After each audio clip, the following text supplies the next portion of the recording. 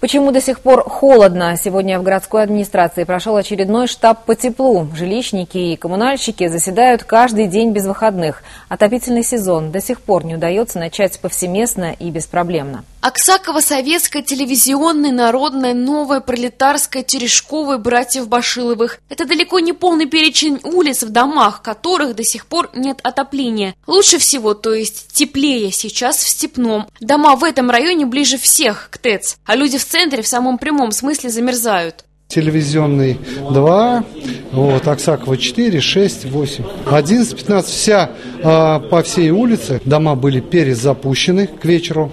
Вот, и надеемся, что тепло э, наши жители получат в полном объеме.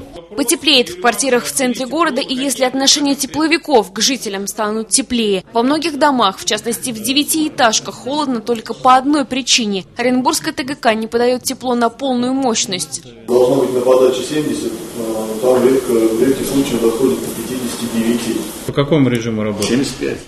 Но это 75 теплоноситель, а температура наружного воздуха? По минус, по плюс 3.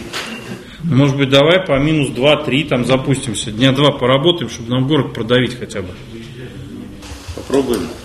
Полностью нормализовать ситуацию по теплу планируют в течение двух-трех дней. Коммунальщики работают в авральном режиме, большинство добросовестно, а некоторые наоборот, игнорируют заседание штаба без объяснения причин. Это организации «Мир Плюс», СВС-сервис и ТСЖ «Гамма» во главе с небезызвестным Виталием Кукушкиным. Он на обращение чиновников вообще не реагирует. Юлиана Третьяк, Олег Штылер, Ориент ТВ.